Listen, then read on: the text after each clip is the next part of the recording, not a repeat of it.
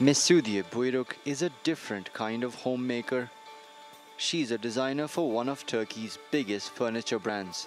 And she says most of her graduating class in the Anatolian city of Inegöl are working in the same industry. Socioeconomically, Inegöl has been developing day by day. It is now the heart of the furniture industry. Many young people from Inegöl and other cities get educated in related fields and come to work here. From design to production, there are lots of job opportunities in Inegöl's furniture industry. burada çalışmaya başladılar. Using the latest technology and hiring skilled workers like Mesudiye has paid off for the company. Çilek Mobilya Çilek Mobilia is an industry leader in research, development, and design. Our growth rate has always been between 30 and 40 percent, and our turnover is $60 million with 750 employees.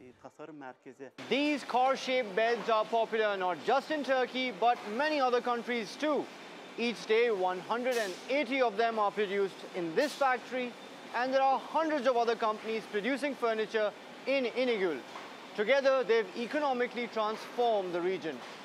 Turkey's furniture exports have mushroomed from $192 million in 2001 to $2.3 billion last year. And Inegöl has emerged as a key production hub. 80% of the city's workforce is employed in this sector.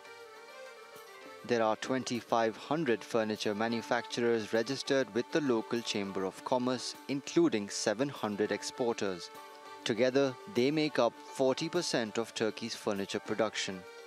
And industry leaders have their sights set even higher. Yani Ekonomi Bakanlığımız kalkımı Inegöl's furniture exports have reached $400 million. That's not bad, but it's not good enough either.